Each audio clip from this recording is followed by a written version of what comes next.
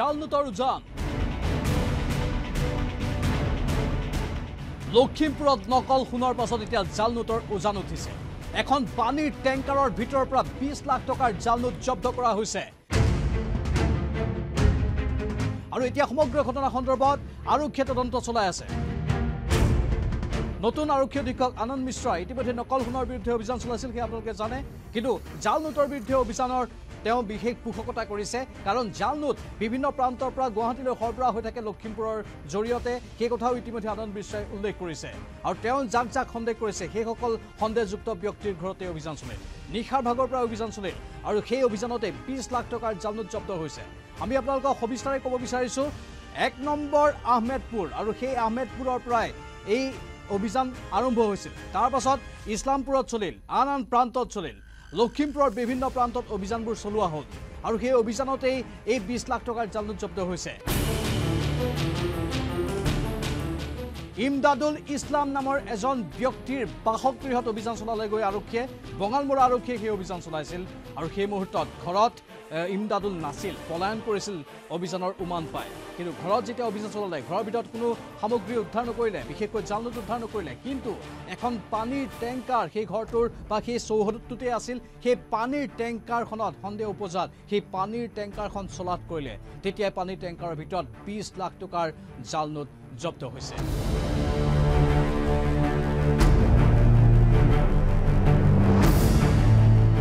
সমান্তৰালভাৱে মিৰিগাঁৱতো অভিযান চলিল। মিৰিগাঁৱত অভিযান চলোৱাৰ সময়তো জাল নোট সৰবৰাহকাৰী তিনিজনে পলায়ন কৰিলে।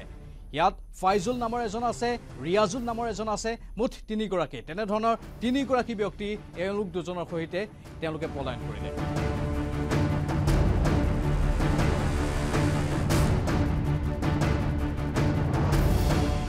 তাৰ পাছত আন এটা স্থানত অভিযান চলিল। সেই স্থান দুই নম্বৰ সোণাপুৰ লখিমপুৰৰ সেই স্থানত অভিযান চলাই শ্বাহজাহান আলী নামৰ এজনক কৰায়ত্ব কৰিছে।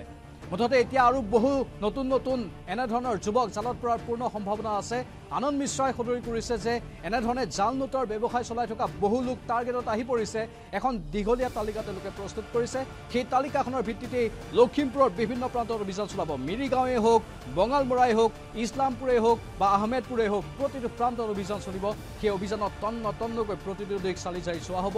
কেনেধৰণে এই গেংটোৱে লখিমপুৰৰ পৰা গুৱাহাটীলৈ জাল নোটবোৰ আনে আৰু গুৱাহাটীৰ পৰা দেশৰ আন প্ৰান্তলৈ লৈ যায়। সকলোৰে তদন্ত বৰ্তমান অব্যাহত আছে।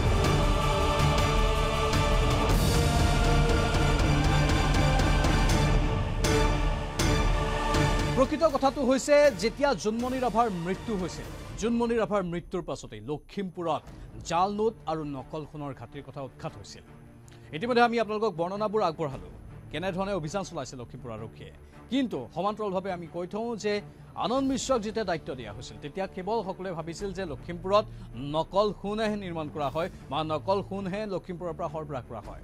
কিন্তু সমান্তৰালভাৱে জাল নোটৰো যে এটা বৃহৎ নেক্সাছ তাত জড়িত হৈ আছে সেই কথা বহুতে অনুমানেই কৰিব পৰা নাছিল। কিন্তু শেহতীয়াকৈ আনন্দ মিশ্ৰাই তদন্ত চলাই উদ্ধাৰ কৰিবলৈ সক্ষম হৈছে এইখিনি তথ্য যে তাত জাল নোটৰো ব্যৱসায় চলে।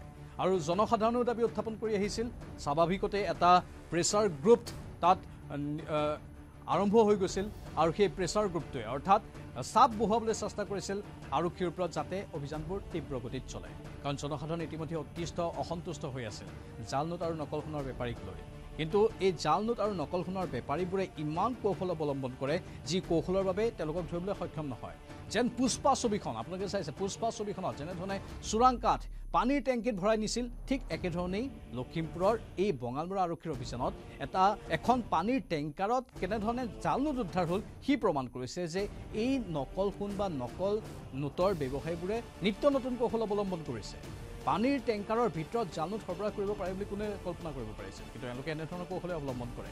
কেতিয়াবা এওঁলোকে এম্বুলেঞ্চ বা সাংবাদিকৰ গাড়ীও নিৰ্বাচন কৰি লয় যিবোৰ গাড়ীত সাধাৰণতে আৰক্ষীয়ে সন্দেহ নকৰে। তেনেধৰণৰ গাড়ীটো জাল নোট বা এনেধৰণৰ অবৈধ যিবোৰ সামগ্ৰী আছে সেই সামগ্ৰীবোৰ সৰবৰাহ কৰিবলৈ চেষ্টা কৰে। অৱশ্যে বহুতে এনেধৰণৰ সামগ্ৰী সৰবৰাহত বাধা প্ৰদান কৰে।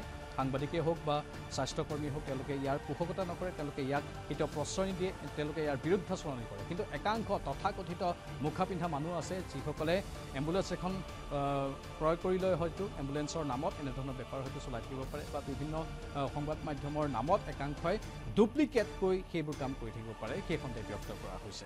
কিন্তু শেহতীয়াভাৱে এই সমগ্ৰ ঘটনা সন্দৰ্ভত আৰক্ষী সক্ৰিয় হৈছে আৰু আৰক্ষীয়ে সক্ৰিয়তা প্ৰদৰ্শন কৰি ইতিমধ্যেই জালনোটবোৰ জব্দ কৰিছে। শ্বাহজাহান আলী নামৰ এজনক কৰায়ত্ব কৰিছে আৰু আগন্তুক দিনত বহুকেইজন জালত পৰিব। কাৰণ এওঁলোকৰ জালনোট ব্যৱসায়ী একাংশই গুৱাহাটীত আহি ফ্লেট ক্ৰয় কৰিছে।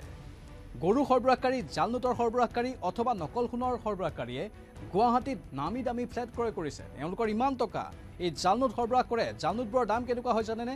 আপুনি যেনিবা জালনোট ক্ৰয় কৰিব গৈছে আপোনাক ক'ব যে আপুনি দুই লাখ টকা দিয়ক আমি চাৰি লাখ টকাৰ জাল নোট দিম আপোনাক। মানে আপুনি আচল নোট দুই লাখ দিব লাগিব জাল নোট তেওঁলোকে চাৰি লাখ টকাৰ জাল নোট দিব।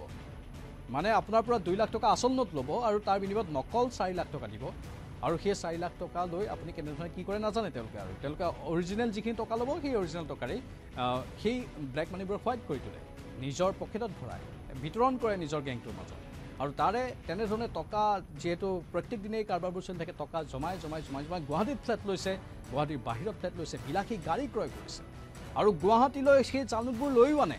গুৱাহাটীতে সেইখিনি সীমাবদ্ধ হৈ নাথাকে। তাৰ পাছত ৰাজ্যৰ বাহিৰলৈ লৈ যায়।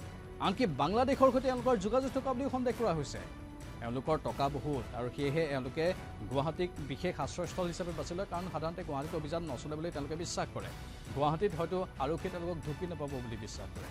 আৰু সেয়েহে গুৱাহাটীত বহুত নামী দামী ফ্লেট ক্ৰয় কৰি লৈছে। তেনেধৰণেই এই বেপাৰবোৰ চলাই গৈ আছে। কিন্তু এতিয়া আৰক্ষীয়ে কোৱা মতে এই অভিযান অব্যাহত থাকিব। গুৱাহাটীতে লুকাওক বেংগলোৰতে লুকাওক বা ডুবাইতে লুকাওক সকলোৰে পৰা এওঁলোকক টানি আজৰি চুচৰাই লৈ হ'ব বুলি হ'ব বুলি আৰক্ষীয়ে দৃঢ়ভাৱে কৈছে। আমি অপেক্ষা কৰি আছোঁ সেই দিনটোলৈ। নমস্কাৰ।